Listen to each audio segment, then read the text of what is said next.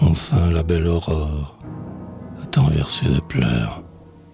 Quel aimable printemps nous fait revoir ses charmes. Il peint en sa faveur les herbes et les fleurs, et tout se riche émaille à l'effet de ses larmes.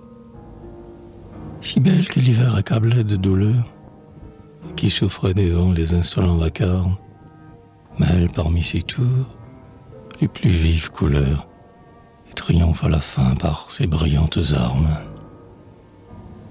Les roses et les lits, de merveilleux éclats, confondent la blancheur au beau lustre incarnat. La tulipe changeante étale sa peinture. Le narcisse agréable à l'anémone et joint. Bref, tout se rajeunit, tout change en la nature. Superbe Phyllis, mon sort ne change point.